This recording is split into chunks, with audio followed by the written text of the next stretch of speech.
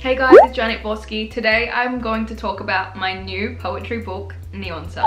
I've previously published two poetry books. They're titled Bones, which was released in 2019, and the second one was titled X, which was originally released in 2020. I'm here to chat to you about my third upcoming book titled Neon Sun.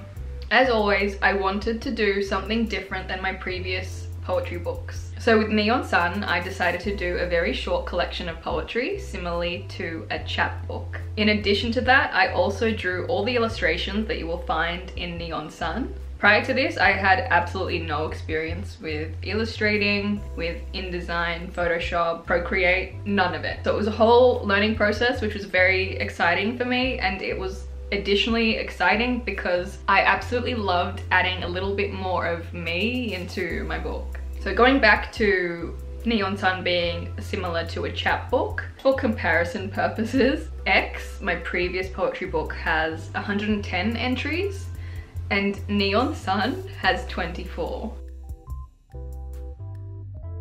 A poetry chapbook is a very small collection of your work. It's significantly shorter than your typical collection. Essentially, it's like a concept album where you are elaborating on the same metaphor or topic. In a chapbook, there's usually a consistent theme. So with Neon Sun, it's all about love. this is Neon Sun. I don't know if the camera will pick it up, but there are repetitive I love yous all through the rip.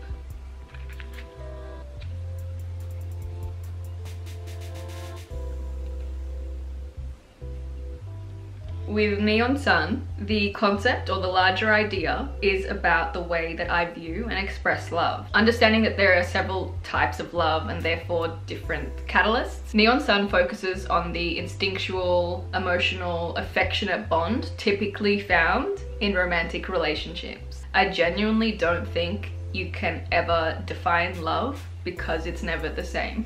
To talk more about the concept and why I decided to write Neon Sun, it's because I have previously heard quite conditional things when people talk about love and I have found that it can be so easily said but not very openly expressed or meant to the depth that those words actually hold.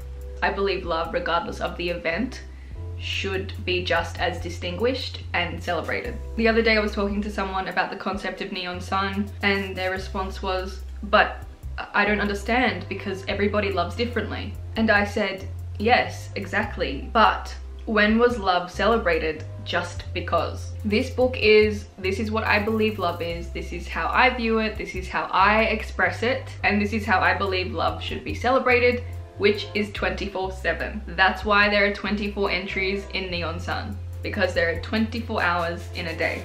Genius, such a genius. so to talk a little bit more about the interior of the book. In addition to the 24 poems, I have separated these poems into the different stages of the day. So there are four chapters, morning, afternoon, evening, and night.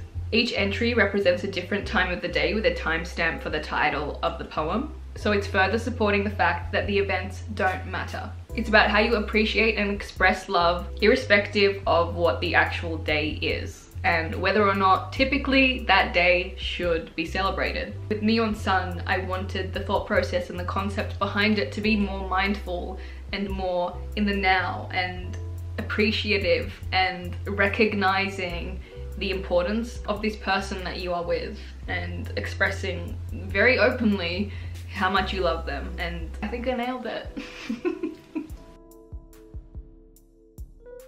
why I titled Neon Sun is very perfectly articulated in the introduction, so I will share that part with you now. The sun already contains neon, but the abundance of neon within the sun is always being questioned by astronomers.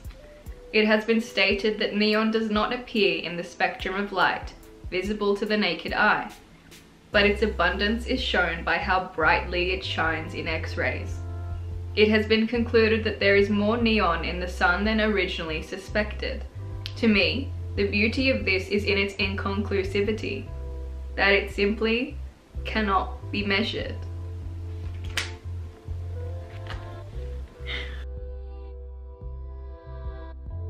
I wanted to release this book very close to, but not actually on, Valentine's Day. Neon Sun is going to be released on the 10th of February 2022.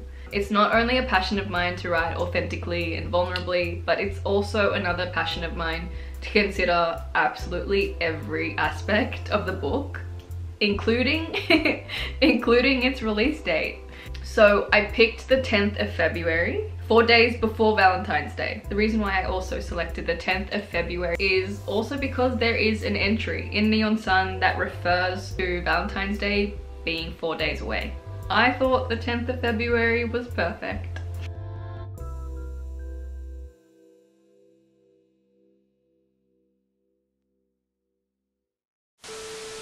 I wanted to I wanted to do, why is that so hard to say? I wanted to do.